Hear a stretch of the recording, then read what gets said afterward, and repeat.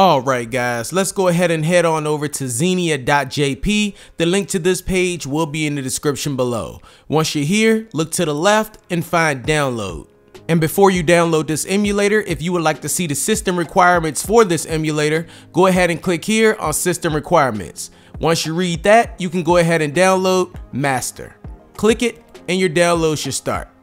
I now have the file downloaded and saved on my desktop. Now we need to extract this file and I use 7-zip to extract my files. If you guys need to download 7-zip, I will have a link to 7-zip in the description below.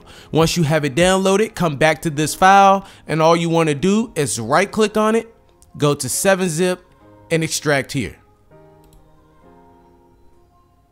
Now we are going to move all of our extracted files into a new folder. Let's create a new folder. Right click, new folder, and I'm gonna call it Xbox 360. Now let's move all of our extracted files into this new folder.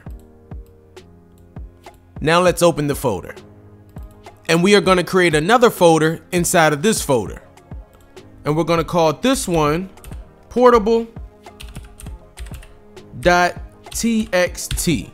Now we want to open that Xenia emulator, so go ahead and click on the emulator. And then you want to close it right away. After you open the emulator and close it for the first time, a text file is going to be created within this folder called xenia.config and this is where we can get to our settings for the emulator. Let's go ahead and open it.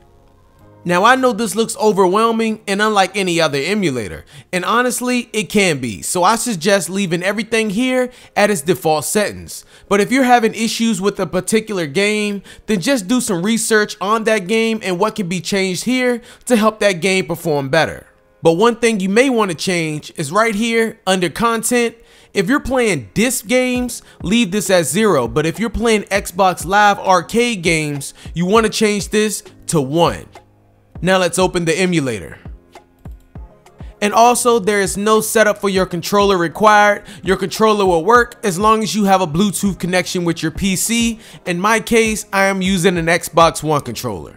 Now let's load up a game. Let's go up to File, Open.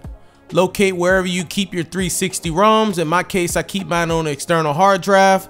I have one in here, Gears of War Judgment. And the file type needs to be this image file select the game, and it should load up. Now, if you would like to go full screen, you want to go up to display, full screen.